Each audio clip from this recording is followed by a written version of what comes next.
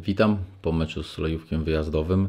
Trzeba przyznać no, z, z bólem serca, że zespół przeciwnika grał lepiej, zdominował nas, można powiedzieć, i no, na pewno tutaj wyrwaliśmy w ostatnich minutach szczęśliwie punkty.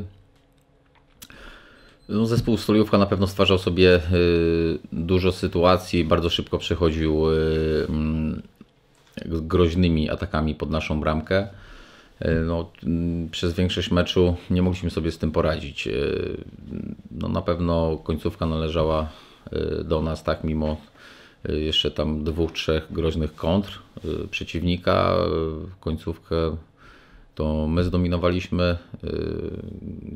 Grzesiu Wojdyga uderzył w poprzeczkę, mieliśmy kilka szans, przeciwnik się już głęboko bronił i e, no, zdobyliśmy bramkę z tego fragmentu. Cieszymy się, bo e, w ostatnim meczu u siebie z Ostrudą e, było na odwrót, także wiadomo, że w sporcie, tak jak i w życiu, wszystko musi balansować się.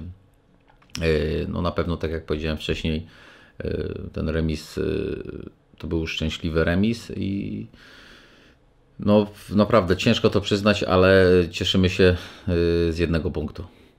Dziękuję.